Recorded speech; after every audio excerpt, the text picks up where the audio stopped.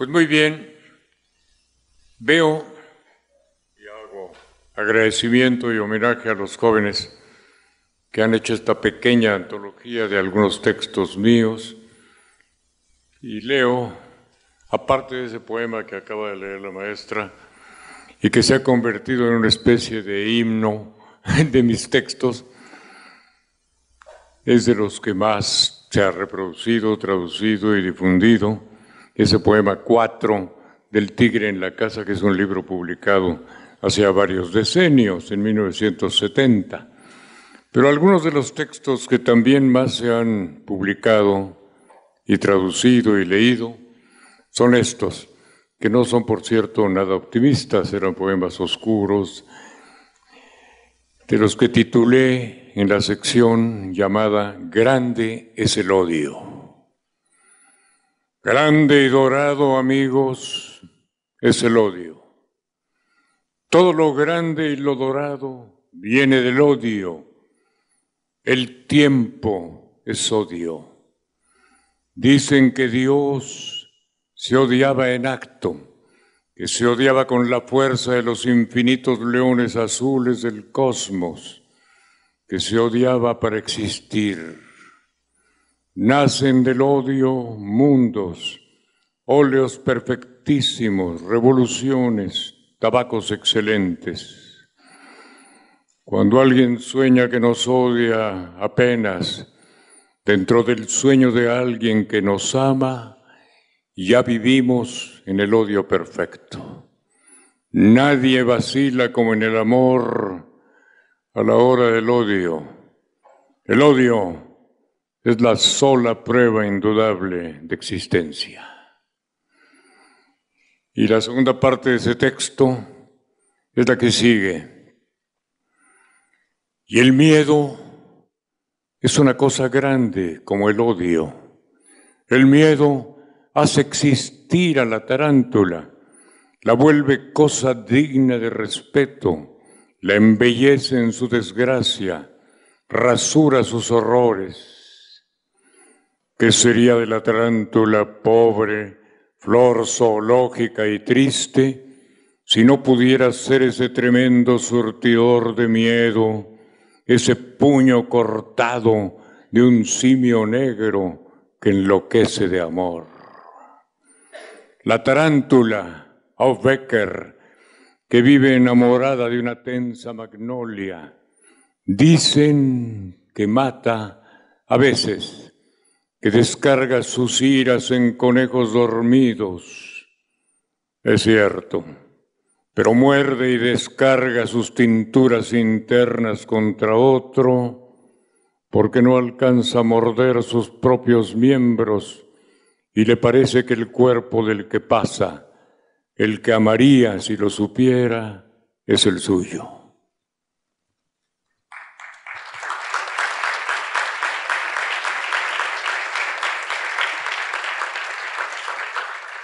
Y luego este, que ya leyó la maestra y que leyeron en la mañana algunos jóvenes, y que fue concebido, lo repito, y no, yo nunca pensé que tuviera tanta repercusión, es el poema número cuatro del Tigre en la Casa, que fue concebido como un canto más que como una serie de metáforas.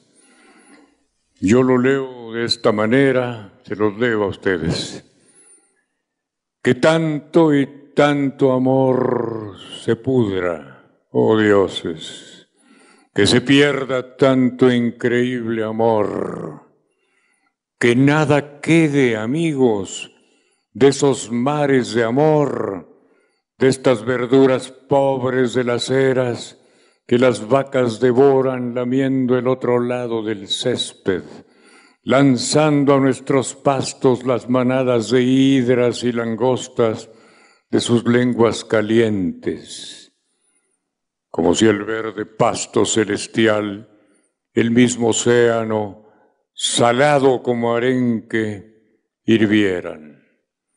Que tanto y tanto amor y tanto vuelo entre unos cuerpos al abordaje apenas de su lecho se desplome.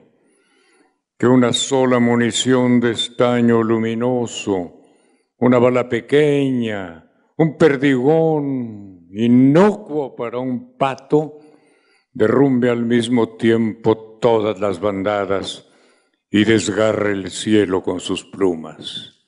Que el oro mismo estalle sin motivo, que un amor capaz de convertir al sapo en rosa se destroce, que tanto y tanto una vez más y tanto, tanto imposible amor inexpresable, nos vuelva tontos, monos, sin sentido, que tanto amor queme sus naves antes de llegar a tierra.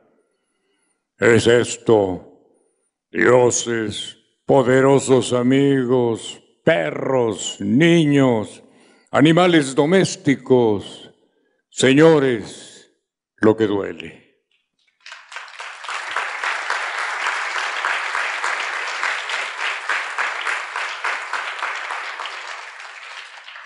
Y otras están recogidos aquí en esta antología, imágenes del tigre, de las que más me llamaron a mí mismo la atención cuando logré redactarlas, porque eran desde el punto de vista sonoro y literario más afortunados que otros, es esta,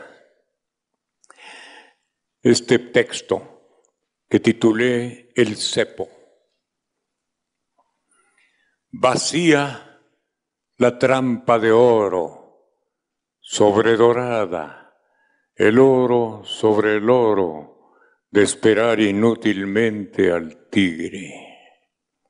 Oro en el oro, el tigre, incrustación de carne en furia, el tigre, mina de horror, llaga fosforescente que atraviesa la sangre como el pez o la flecha rastro de sol. La selva se ilumina, abre sus ojos para ver pasar la luz del tigre y a su paso midas las hojas, ojos, flores desprevenidas, crótalos dormidos, ramas a punto de nacer, libélulas doradas de por sí, gemidos de cachorros, se doran se platinan y el tigre pasa frente a la trampa absorta, amada, y la trampa lo mira, dorándose pasar. La fiera huele acaso la insolente carnada convertido en rubí, lame sus brillos secos de aparente jugo, pisa en vano el aterido resorte de cristal o nácar, del cepo inerme ahora. Escapa el tigre y la trampa se queda como la boca de oro del niño frente al mar. Este es un poema que ha sido muy traducido, incluso algunos jóvenes han dado título a una revista de poesía con el de este poema. Es la entrada de un poema, de un libro publicado en 1989, se reeditó inmediatamente en la editorial Vuelta, que titulé Tabernarios y Eróticos. El poema se titula Caja Negra. La noche cerraría sobre las almas todos los sueños, toda la sangrienta memoria, las pasiones más pútridas, los amores más bellos, las más altas traiciones, los estupros, los estupros más viles, los delitos incruentos y preciosos de los amantes perseguidos, los crímenes también de los impuros, toscos chacales de la urbe, los secretos más crueles de la felicidad y del dolor, los crímenes imaginarios, heroicos, bucaneros de los adolescentes incestuosos, la clave de la guerra entre hermanos, punto fino, el solapado origen de toda la tragedia, el ojo mismo para contemplarlos, están todos ahí, en la caja negra, nuestro centro invisible y expansivo que vibra entre la válvula cardíaca y el florecido sexo al que servimos con suerte desigual. Pero nunca ha de abrirse. Todo a su alrededor ha de morir si ella se abre. Agujas, cardos, ha de volverse el agua que se bebe si ese turbio corazón se rompe. Sobre las almas cerraría la noche si, esa caja se abriera en las entrañas de una sola criatura del frágil universo, como si se rompiera el corazón de Dios. La miel enferma del panal está en la caja. Freud se traumara con la idea de ese custodio visceral, ángel interno que nos protege como un tumor benigno de la vasta miseria. Se han de romper las naves, ha de astillarse el aire como el vidrio corriente, pero la caja no. Dios puede enloquecer y ha de quebrarse al fin como un volátil superior, pero la caja no.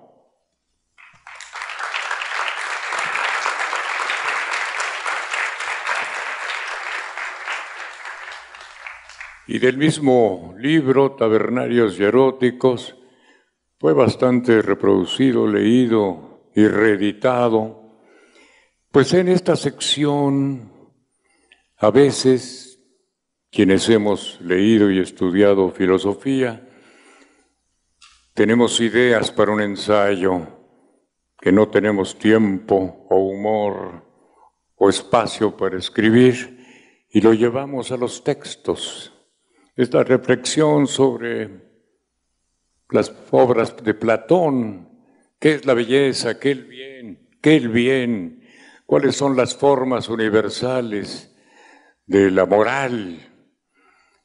Le titulé por eso Socráticos y aberrantes. ¿Cómo sabemos que esta seductora, esta criatura indescriptible, es una bella moza de verdad, un ejemplar genuino de perfecta, de única hermosura, si no sabemos qué es lo bello en general. No es el saber hipias gracioso el que permite con certeza y hielo descubrir la carnosa incierta luz de tal ternura un tenso muslo, un pecho que levanta, una dulce entrepierna, esta grupa apretada, el arca de este cuerpo, un rostro que deslumbra. Es el feliz dolor que ellos producen sin saberlo en fibras, vísceras ocultas, líquidos de adánica inocencia. El universo es hueco, está vacío. No existen los modelos superiores, hipias. Solo existe esta verdad o aquella.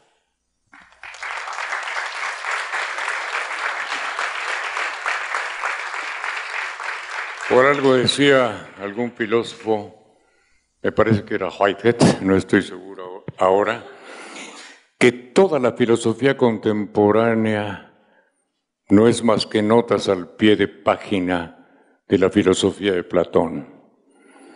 Creo que buena parte de la literatura es lo mismo. Ese poema, por supuesto, alude a la imposibilidad de la belleza universal que con gran ingenio Platón resolvió diciendo que aunque no había manera de establecer criterios absolutos para el bien y el mal en la tierra, pues los hombres los tomaban de un topos uranos, un cielo superior donde los modelos plásticos del bien, de la belleza o, o de la moral estaban ahí para iluminarnos.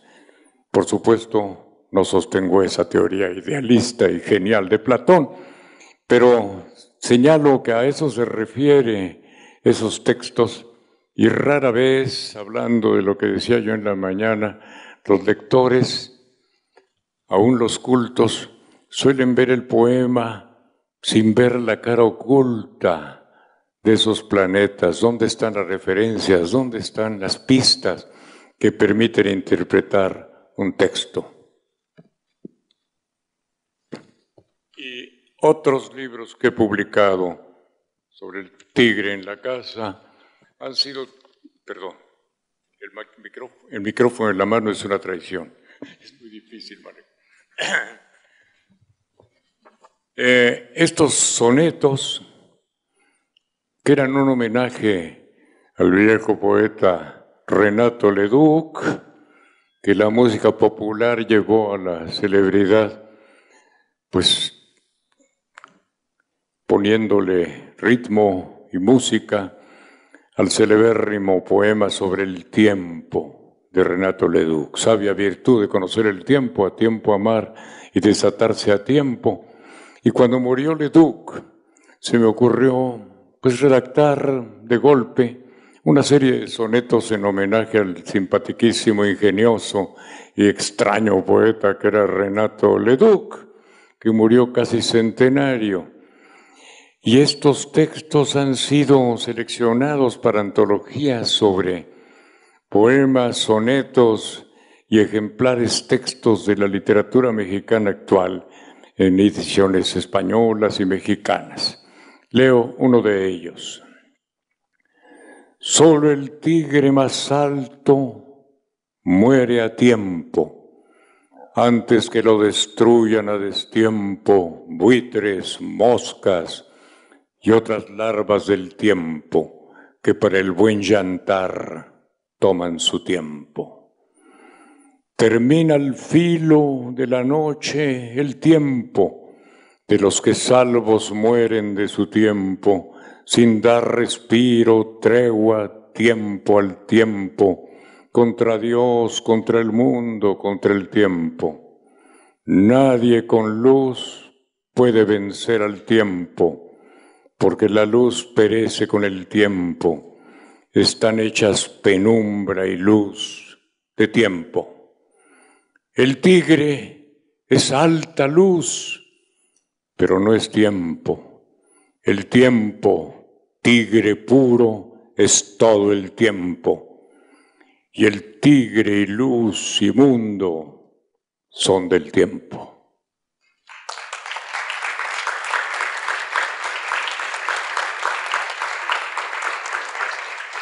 Bueno, y otro más de esa serie sobre el tiempo y sobre Renato Leduc. Al tacto cuento el oro y cuento el tiempo. Y pierdo siempre el tiempo y pierdo el oro, pues pierdo el oro por ganar el tiempo y el tiempo pierdo por ganar el oro. Compro para vivir oro con tiempo y después pago el tiempo con ese oro. Aquel perdido tiempo era de oro y aquel oro tan pobre, puro tiempo. Son lo mismo, sabemos, tiempo y oro, y en desigual medida es muerte el tiempo y muerte como el aire ausente el oro. Oro se vuelve el polvo con el tiempo, enamorado polvo, polvo de oro, que es menudo caer, es oro, es tiempo.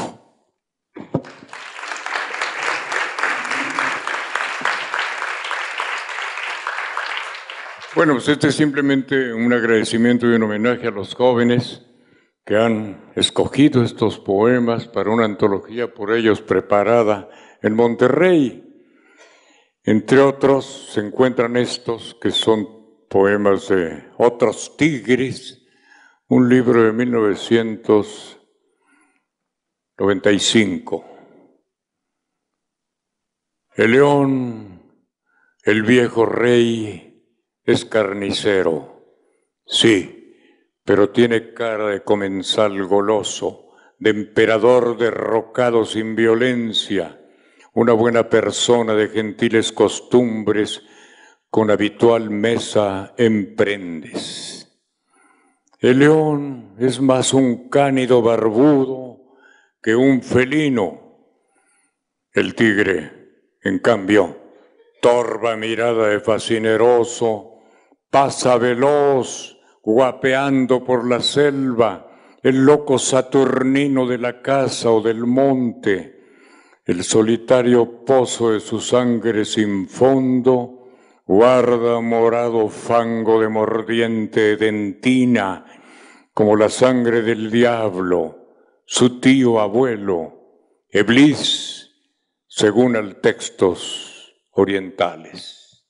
También en Nuevo León se hizo hace dos años esta antología donde se recogen poemas que no están en, antologías anteriores.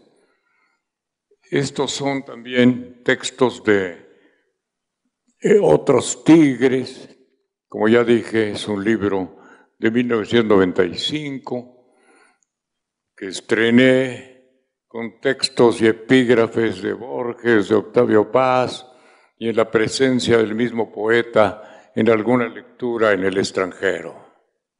También recordaba yo en la mañana que siguiendo las enseñanzas de Borges, que anotaba que cuando los poetas y los escritores envejecemos empezamos a repetirnos, me disculpé en ese prólogo a ese pequeño librito de volver sobre el tema obsesivo del tigre. Y escribí en esta, en esa edición, este que se llama Tigre al espejo. ¿Sabe el tigre que es tigre? Se sabe monstruo, carnicero, inmenso, ballenáceo, felino como es Sabe que tiene cuerpo, dagas en las fauces, rayada infernalmente piel y alma asignada de tal tigre. Lo sabe, y bien, su espejo es otro tigre, su carnal reflejo, la espalda de ese espejo, una tigresa. Se mira en el estanque, pero no se descubre, no se mira como él, como ese tigre con un sangriento y un rayado yo, contempla simplemente allí en el agua a un compañero, al otro tigre, al tigre del espejo que en carne enfrenta a veces y bebe a diario tigres en los aguajes donde se hallan tranquilos y en los ríos que siempre arrastran sus cuerpos, sus imágenes al mar.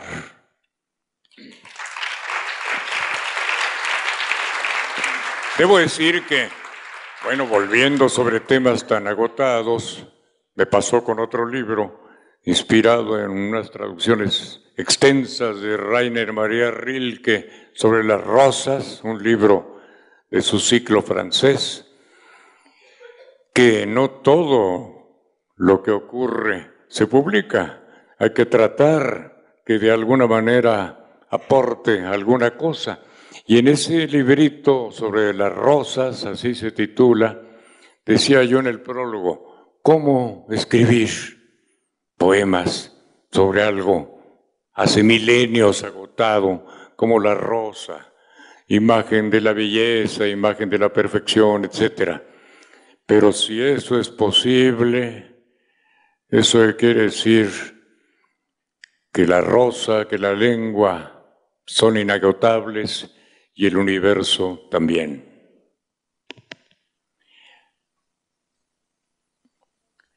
Este otro más.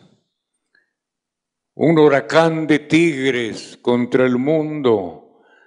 Eso será el final, una rayada hoguera, alguna lluvia de colmillos mayores, un torrente de zarpas, un resplandor solar hecho cuchillos, navajas libres de barbero, los tigres mismos, todos, serán batidos, rotos, desarticulados por tal tigresca, universal catástrofe.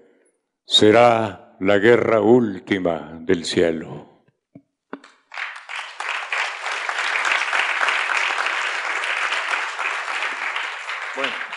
Leo uno más para no extendernos demasiado. Se ha tragado su noche esta pantera. Se ha bebido un mal sueño en solo un sorbo. Ha masticado hambrienta palmo a palmo su sombra. Era noche cerrada con dos terribles lunas, llena de luz como era en su negror atlético, encendido candelabro de la muerte en el bosque. Ya es la perpetua noche y está ciega, ya son pardos y secos sus jugosos fanales, no es garra ni, ni arma buena el pobre olfato de los grandes felinos que tal catarro cósmico padecen Solo tiene ya el ángel del oído para entender la música rastrera y enemiga de sus antiguos subalternos. No se defiende ya de las menores bestezuelas que la ofenden y ya no mueve un músculo, parece un bronce frente a un, frente a un parque antiguo que han condenado a la demolición.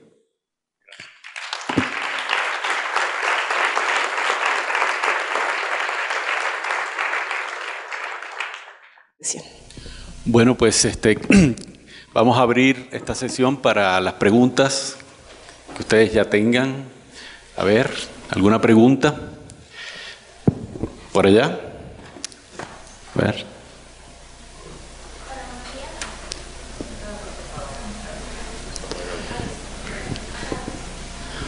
Hola, buenas tardes.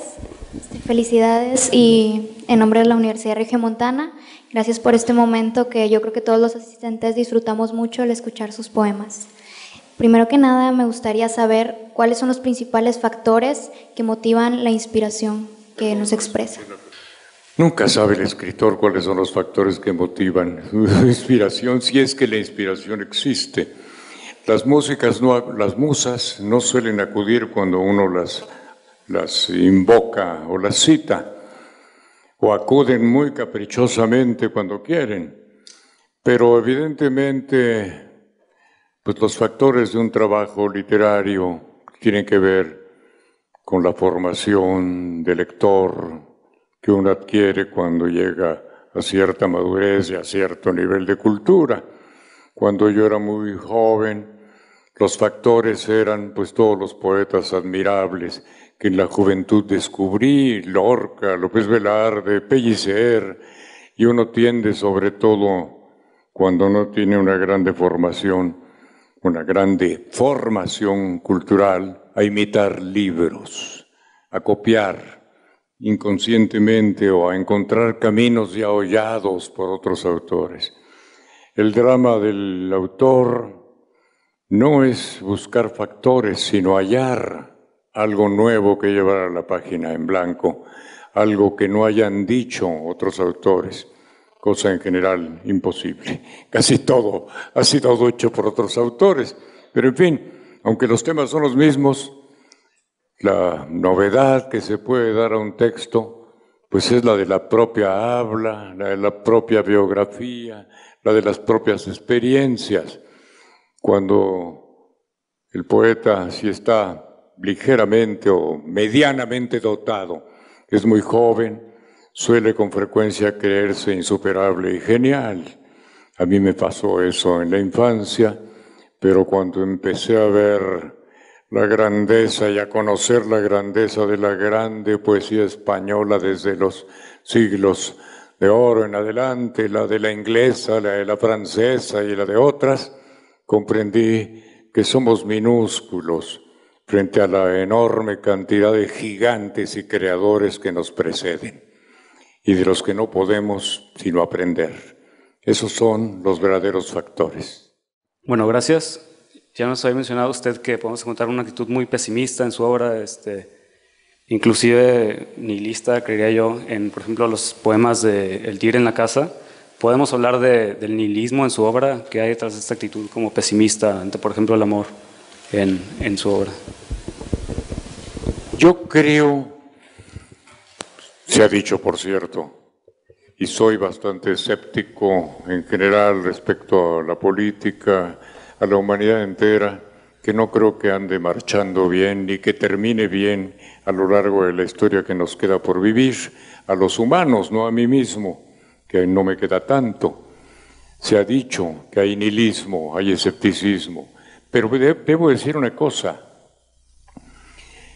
estamos en una era, y no ahora, sino desde el final del siglo XIX posiblemente, en que todos los grandes autores podrían ser acusados de oscuros y de nihilistas y de escépticos.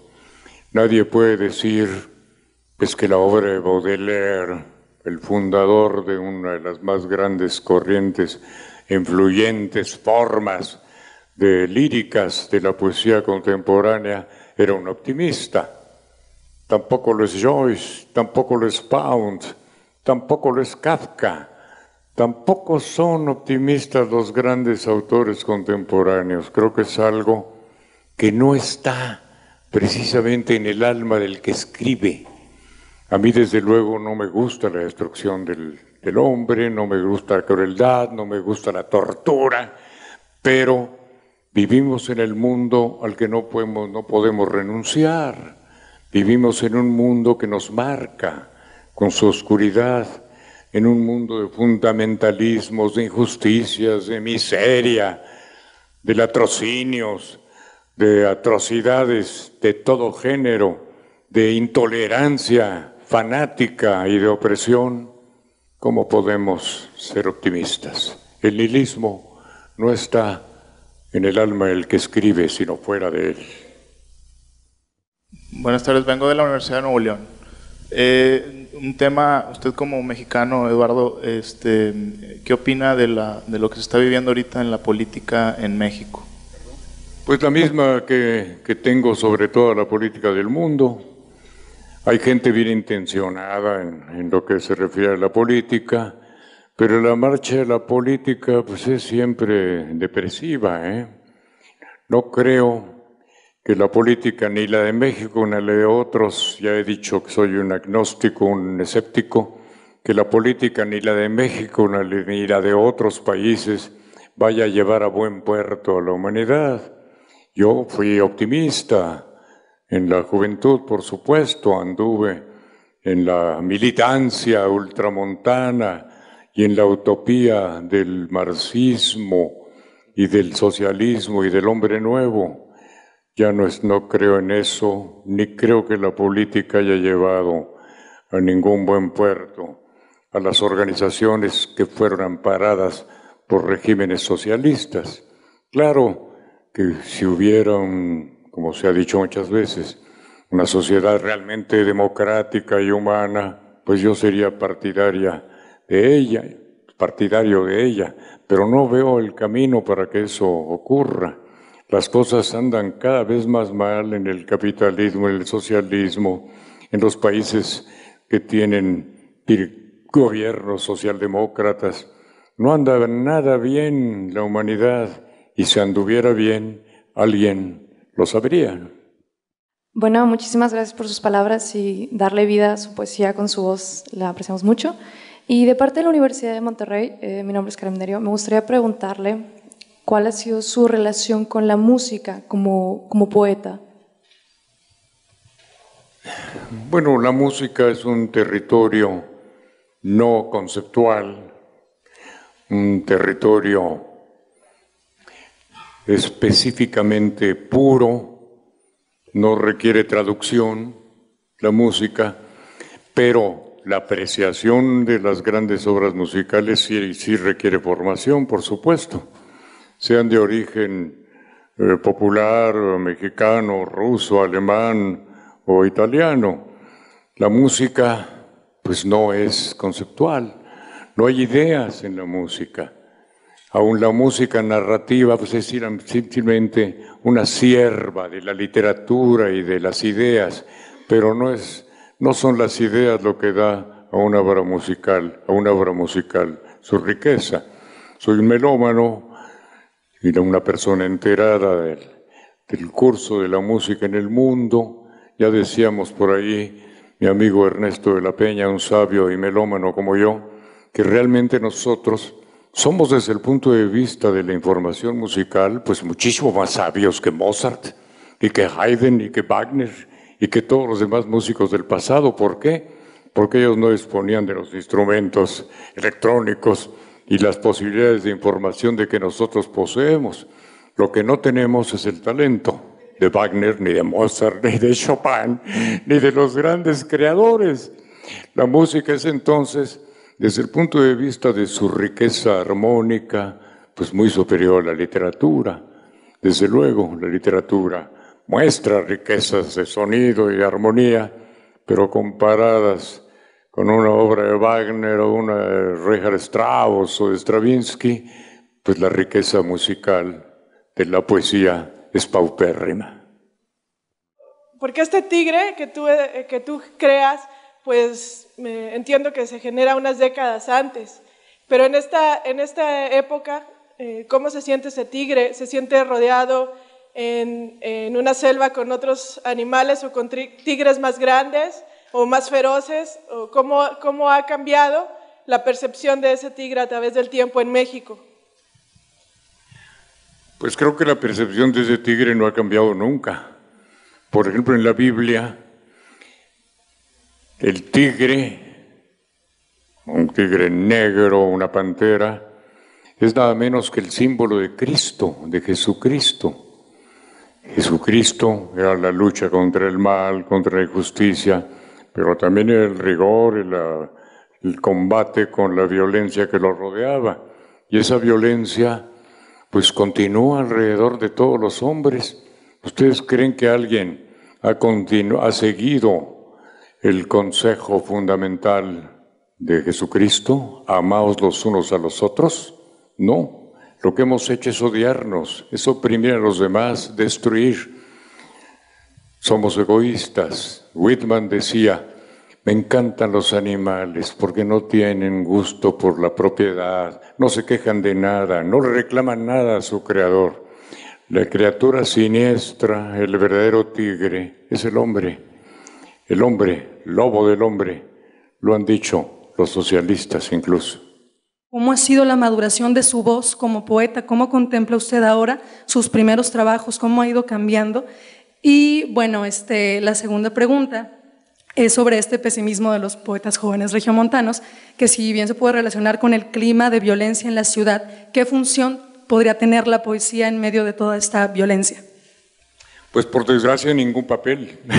Ojalá pudiera la literatura servir de algo para, para auxiliar en, la violencia y en la inseguridad y en la injusticia. No puede hacerlo, desde luego.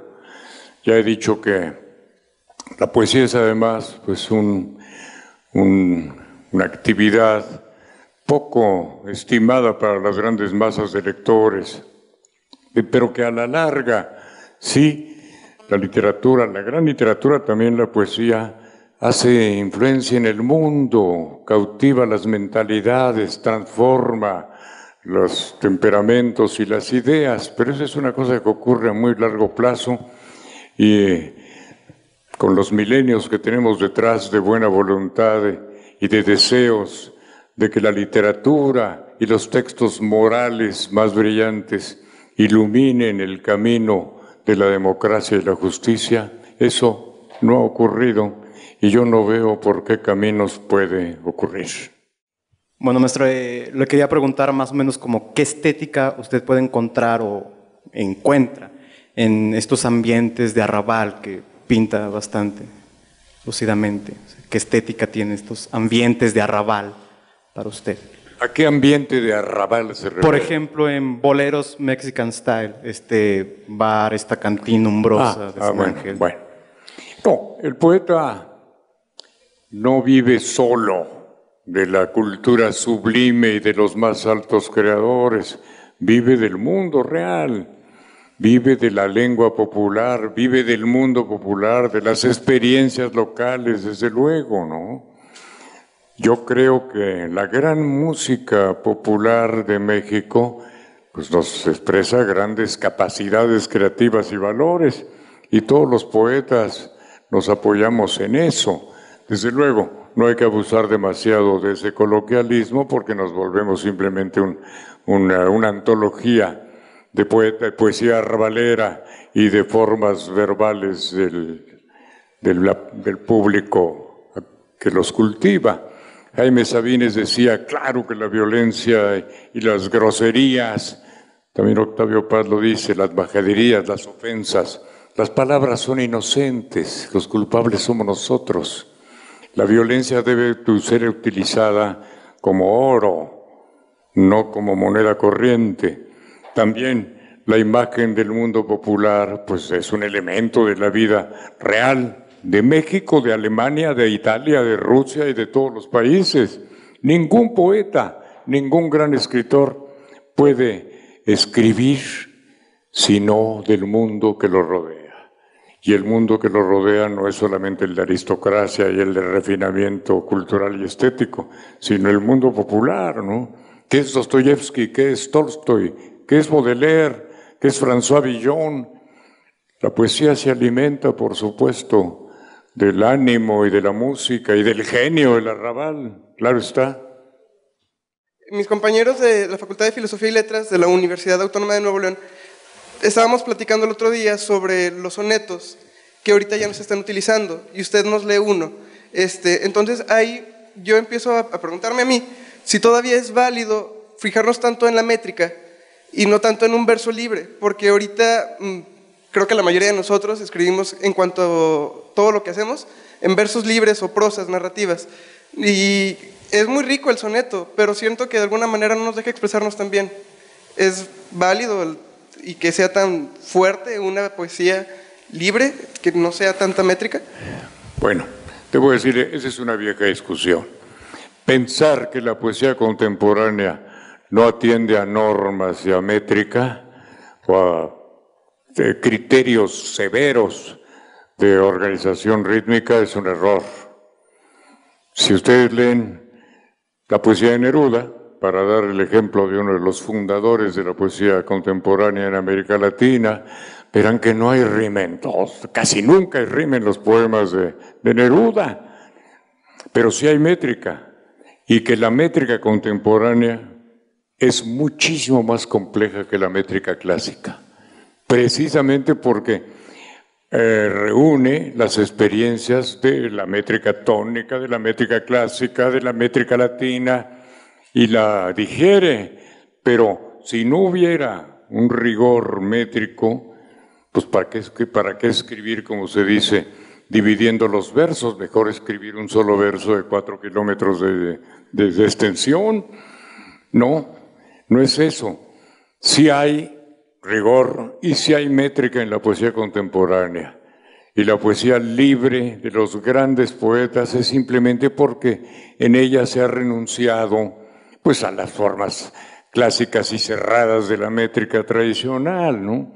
Los mismos eh, escritores del siglo XVI llegaron a pensar que el alejandrino, el verso de 14 sílabas, que venía de la métrica francesa, de la latina y de, ot- de la italiana, era una especie de armadura que obligaba al poeta a cerrarse un determinado tipo de ritmo. Y eso pasó también con el endecasílabo. El poeta contemporáneo, los más libres, Eliot, bueno, estoy pensando en los grandes poetas, Wallace Stevens, utilizan todas las formas, todas las métricas y también la rima cuando es necesaria. Desde luego, toda la grande poesía es libre, pero no renuncia a las, a las normas ni a la métrica, por supuesto. ¿En qué momento uno se puede sentir poeta? ¿Uno nace poeta o se hace poeta? ¿Y en qué determinado momento te puedes llamar poeta? Bueno, esa es otra pregunta clásica también. Se la respondo con palabras no mías, sino de Aristóteles, el célebre, grande filósofo griego, que decía hace milenios, se puede enseñar técnica, prosodia, métrica, historia de la literatura a una persona. Hay una sola cosa que no se puede enseñar, es el genio, el talento, la capacidad artística natural que existe en todos los hombres. Y evidentemente todos los, todas las personas tenemos capacidades musicales, poéticas, líricas, pero no todos tenemos el talento de Góngora o el de Dante. Eso se descubre en el camino. Vuelvo a citar lo que decíamos en la mañana hablando de Whitman, que no era ni el más sabio, ni el más culto, ni el más sistemático de los poetas de su tiempo, y era el genio supremo, comparado con los grandes técnicos, lo dice Borges, lo dice todo el mundo, que escribían poemas perfectos, pero jamás lograron escribir las hojas de hierba. Y la frase de Borges era esta, art happens, el arte ocurre y no sabemos cómo. Entonces, enseñarle pintura, técnica pictórica a una persona con capacidades es fácil, pero que lograr que esa persona produzca la obra de Uccello, o la de Miguel Ángel, o la de Leonardo da Vinci, o la del Greco, es otro problema. No se explica nunca cómo surgen las obras singulares, las obras inclasificables. Entonces, evidentemente, si hay dotes. Si yo hubiera estudiado, por ejemplo, danza, pues jamás hubiera sido un gran bailarín porque nunca he tenido dotes para semejante cosa. Soy uno de los peores bailarines del mundo.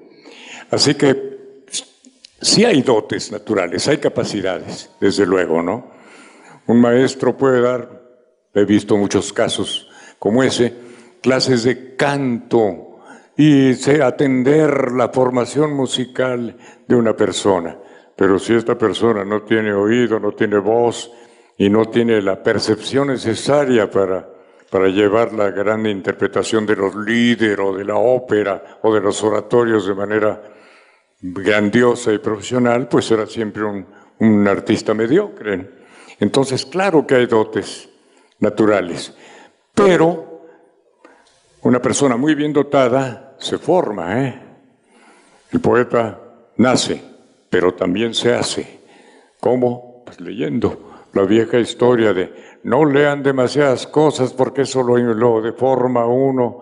Es una tontería, claro, en tanto más información, más cultura, más experiencia en la obra de los grandes autores tiene una persona, pues más fácilmente puede escribir, dotada o no, mejores textos. El poeta también se hace, claro, aún el originalmente dotado. Usted comenta que vivimos en un mundo que nos marca eh, con su crueldad y a este mundo no podemos renunciar. Dice que ningún poeta puede escribir sin el mundo que lo rodea, o sea, el mundo cruel. Entonces, mi pregunta es, todos aquellos poetas que le cantan a la vida o que escriben cosas bonitas sobre los pájaros, etcétera, etcétera, ¿no quieren aceptar la realidad o, qué? ¿Qué pasa con ellos? Bueno, la realidad es muchas cosas. Es fealdad, pero también hay belleza. Eh, tampoco todo lo que he escrito es negativo. He escrito poemas celebratorios, desde luego. Hay una parte, una parte de siempre felicidad y celebración de la belleza que nos circunda. De otra manera, pues no seríamos eh, coherentes ni humanos. Desde luego, no es, no es una tarea la perversión ni lista para escribir, no es algo que se nos impone, que se nos da bajo la presión de la realidad, pero también se celebra la belleza, claro está que sí. Un poeta, por ejemplo, escéptico totalmente, alguien me preguntaba sobre lo que pensaba yo de Fernando Pessoa, el más grande poeta portugués del siglo XX, es un poeta que también es celebrador de la belleza, también canta a la belleza, por supuesto. Todo lo, hay. César Vallejo, uno de los más amargos y terribles poetas del siglo XX, dramático, eh, escéptico, está lleno a lo largo de toda su obra de poemas celebratorios. Entonces hay todo en, la grande, en, las, en las grandes obras poéticas, por supuesto, y artísticas. Usted dijo que se nace siendo poeta, que se tiene que ir formando por medio de la lectura, por medio de estar escribiendo. Pero muy personalmente yo considero que todos los que nacen poetas, todos los que nacen pintores, alguien, un grande, le da el flachazo para seguir este camino. Mi pregunta es, ¿qué autor o quién le dio el flachazo para seguir este camino y no haber seguido por la danza? Bueno, pues porque uno percibe que no tiene tales facultades, ¿no? Por ejemplo, yo tuve, yo tuve tentación y formación además de, de dibujante y de pintor. Mi padre era un gran dibujante. Llegando el tiempo pensé, pues, ¿qué podría yo llegar posiblemente a dibujar y pintar? Pero primero, hay que dedicar la vida a eso, a una especialidad. Segundo, nunca creí ser un superdotado para la pintura, ¿no? Picasso a los 10 años pintaba como un dios y casi todos los grandes pintores del mundo lo han hecho. Ahora, hay un tipo de, tarea que no permite tan fácilmente la aparición de los niños prodigio, ¿eh? Aunque Lope de Vega, el genio, el fénix de los ingenios de españoles y renacentistas de España, tuviera grandes capacidades, sus obras maestras no son las de la etapa en que escribía en latín poemas a los cinco años. Las obras son del periodo posterior. Hay tareas, la literatura es una de ellas, que requiere mucho más formación. Así se ha superdotado el autor y hay que señalar que se han frustrado muchos grandes dotados por no desarrollarse culturalmente para hacer una obra mayor. ¿eh? Eso desde luego, eh, eso existe. Es necesario cultivar el arma, ¿no? Por más experto que sea un espadachín, tiene que aprender técnica para ser verdaderamente el espadachín mejor del mundo, ¿no? No bastan las, las dotes naturales. Y ciertas cosas, la filosofía, por ejemplo, pues no permite que un niño prodigio escriba una obra como la fenomenología del espíritu o como el capital de Marx o la razón pura, la teoría de la razón, de la razón pura de Kant a los 12 años de edad. Eso requiere una formación mucho más compleja. Entonces hay ciertas tareas que requieren más trabajo cultural y más lectura y más formación. Un monstruo como Mozart, la música no es conceptual, como decíamos, sí, era capaz a los 12 años de escribir obras geniales.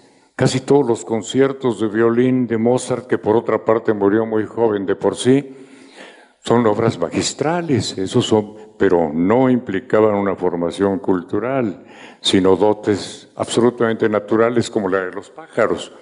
Y las obras mayores de Mozart no son esas, de todas maneras. Son las obras de su madurez musical, de su madurez cultural, con todo, y que era un, tenía dotes divinas de genio y de compositor. Hace rato hablábamos de un poco sobre las influencias y demás, ¿no? Entonces, comentábamos que cada cosa es Babel, es en cierta, bueno, guarda cierto paralelismo con Muerte sin fin de Gorostiza, ¿no? Pero, por ejemplo, en Muerte sin fin vemos como un dios asfixiante, imposible de alcanzar, mientras que en cada cosa es Babel, el poeta es el, es el dios, ¿no? Es el, el que da vida a los objetos. Entonces, me gustaría que hablara un poco más sobre la relación que guarda cada cosa es Babel con, con Muerte sin fin. Pues no solamente guarda precisamente pues un poema, la madurez, el intento era hacer, exponer una visión de todas las posibilidades del habla poética y verbal. No solamente con Muerte sin fin, era un diálogo pues con toda la con toda la poesía que la precede en ese terreno de la poesía metafísica, intelectual o la poesía de obsesiones metafóricas y de tropos complejos. Está detrás Rilke, está detrás Góngora, está detrás también, por supuesto, Darío, está y están todos mencionados dentro del poema. Hay referencias a todo esto. En realidad es un diálogo con la poesía anterior y un rompimiento. El poeta que escribe una cosa nueva y original comete necesariamente el parricidio, pero el parricidio no implica la del desprecio completo del Padre, sino su reconocimiento. La discrepancia está dentro de una obra que logra decir sobre el mismo terreno o las mismas obsesiones de un gran autor cosas nuevas. Eso es lo que se intenta hacer. No siempre se logra, ¿no? Y yo no creo haber logrado con cada cosa es Babel lo mismo que Gorostiza en ese milagroso poema que es Muerte sin fin. Eh, ¿Qué opina usted de que en estos momentos no hay una verdadera educación humanista en el sistema educativo? Ese es otro tema, ese es otro tema que pertenece más bien. El poeta no es un trabajador social, tiene puntos de vista sobre los métodos y los caminos que debe llevar la educación en un país, pero no es un educador el poeta. El poeta trabaja con materiales culturales y la educación, bueno, pues es un trabajo práctico y cultural también, por supuesto, que implica ciertas normas, ciertas disciplinas que no son las mejores en México, por supuesto.